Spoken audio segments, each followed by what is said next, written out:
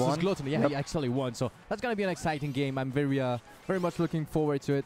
And uh, it seems like we're jumping straight into the game. And already we see Glutonny going Cloud versus that Peach because that is one of Peach's harder matchups. And one that Meru has grinded a lot with Glutonny himself.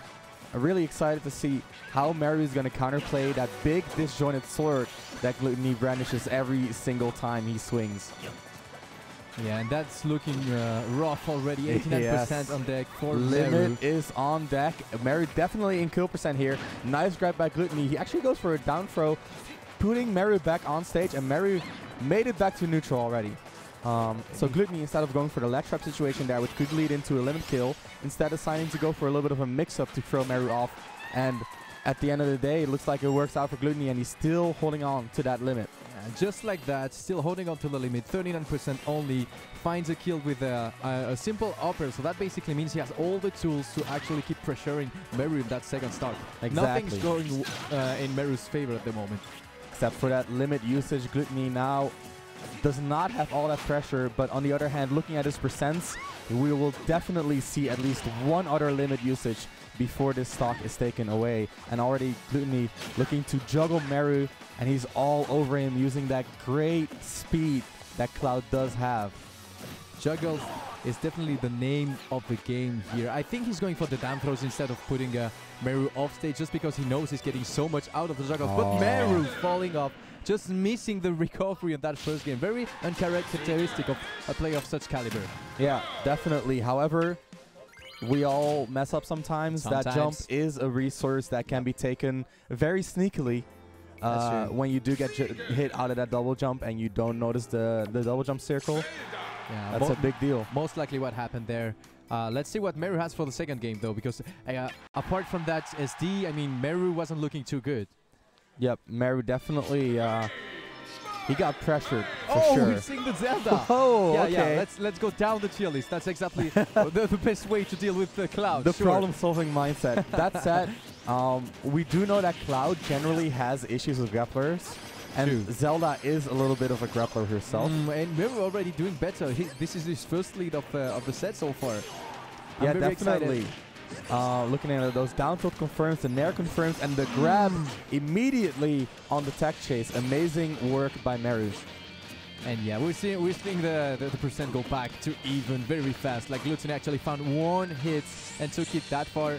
that, that, Okay. That's the, the, the most classic bait you can ever Well, find with Zelda. uh, what, what Meru likes to do is he uses a B, and then he hit confirms it, and if it does hit, he goes straight up, and if it doesn't, he goes down to cancel oh the yeah, leg, basically. Yeah, yeah, yeah. Uh, Alright. And we already see the effects of Final Destination on this matchup. On one hand, Cloud has issues landing when there's no platforms to help him, and Meru's there with pivot grabs. On the other hand, Zelda has just as many issues landing versus Limit Cloud, and especially when you're in the corner, there's no platform to go over Cloud, and you're gonna get Limit cross slashed in the corner just like that. There is no way to escape, and Glutonny recognizing the situation in a very, very uh, um, clean manner, actually going for the back air. Understood Meru was going for the punish there, but he couldn't because uh, that was basically a frame trap. And uh, through the limit side B, took the first stock cleanly.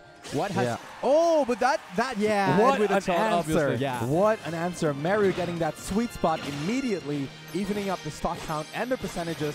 Low percent combos coming out from Zelda here, and already Glutonny looking to struggle to land. Meru catching all those jumps out with that neutral air. Look at that yeah, dash grab. Did you see that movement, I babe? I loved it.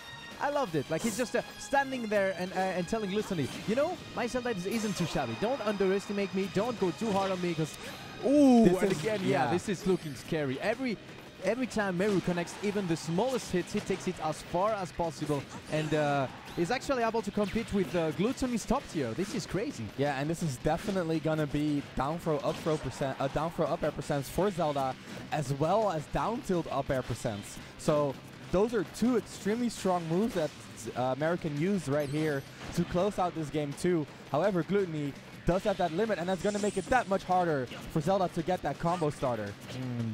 Oh, Meru actually finding a way to get back from the edge, reset the neutral for Oh. a bit.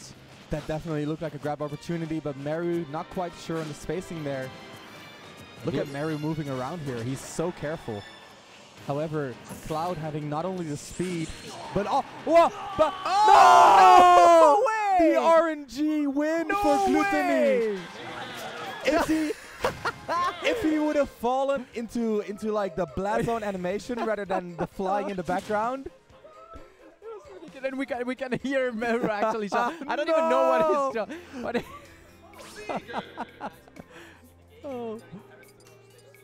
No, we good. We good like Either that. way we good like that. Thank you very much. so but oh Jesus Christ! What a RNG, you are about a heartbreaker What because that was yeah he killed him. yeah he killed it. He definitely did. And uh, Uh, it's two heartbreakers there. First, obviously the RNG kill, like he didn't Yep. take that game, and the Yep. second one, such a poor recovery from the cell. Like, uh. like he was so close to the edge. Uh, but she didn't grab but it. she didn't know nothing. It just goes straight down there and just looking at the screen like a cloud actually going into stay KO. Wow. Jesus. what an ending to, to such a tight, tight game.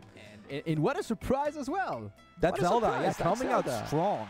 Jesus, I didn't expect that. Like Meru is selling his Zelda to everyone basically, but has never showed that's uh, s- such a strong performance with her. And now uh, he's definitely putting his Zelda on the map, competing with uh, Glutonny's Cloud so well. Yeah, one of the best characters in the game for sure. And that, did you see that neutral B reaction to the up B, uh, the Mm. second up B? Mm. That is like, that shows how much experience he has in the matchup because that's the kind of option that you only use when you know exactly how these characters interact with Yeah, each and other. that makes so much sense. Like you, you use actually invincibility frames, Exactly. and, you you repel Cloud from the edge. That's uh, uh, everything you want to do against uh, against That Cloud. move, That's yeah, that's exactly. Yep. basically um, one move, one way, one main way of recovering for Cloud away from the matchup. So.